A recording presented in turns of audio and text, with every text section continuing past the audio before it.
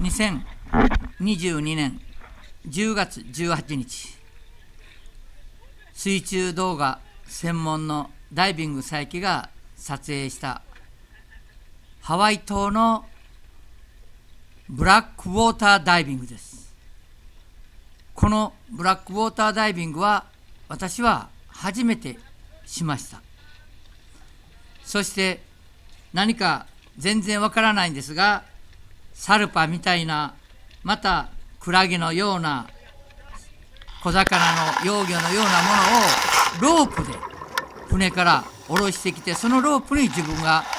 かけて、えー、深さは15メーターぐらい。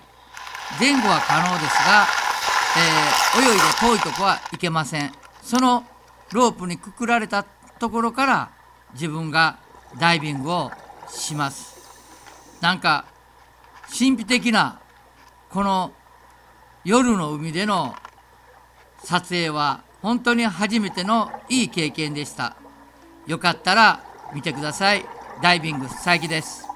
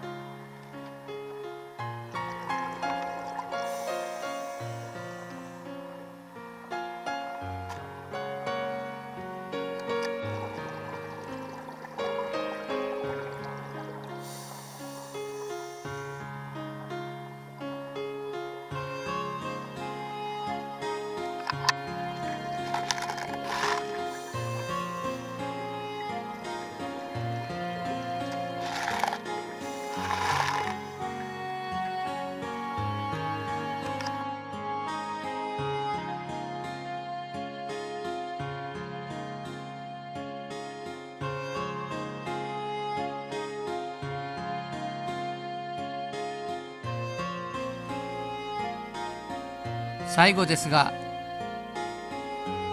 ハワイ島の溶岩と海の方にドローンを上げました。ドローンは本当に初心者ですが、えー、ハワイ島の雰囲気またハワイ島のこの火山から流れてきた溶岩が海に直接入っていくそういったところを撮影しました。本当に、えー、ハワイ島はまた世界中で特殊な地形かと思います。そんな中でのナイト。また今回は夜のブラックウォーターダイビングといって本当に私も初めてのダイビング経験でした。名前も全然分かりません。本当に貴重な経験のできた、えー、ハワイのブラックダイビングウォーターダイビングでした。本当に、えー、長時間皆さん見ていただいてありがとうございます、えー、ダイビング佐伯いつも動画を上げていますが本当に私は、えー、ただ趣味で、えダイビングをしてそして趣味で動画を撮影してそして、えこのように YouTube とかに載せています。本当にダイビングと出会えて幸せなことを経験しております。また皆さんも機会があれば是非ダイビングをしていただけたら喜びももっと増すかなとそのように思います。本当に貴重な時間私のために使っていただいてありがとうございました。